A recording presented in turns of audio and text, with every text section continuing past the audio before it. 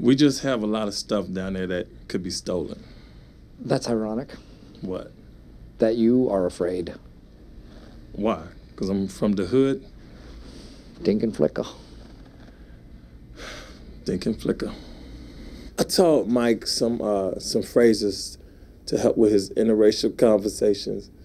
You know, stuff like fleece it out, going Mach 5, dinkin flicka. Give me some.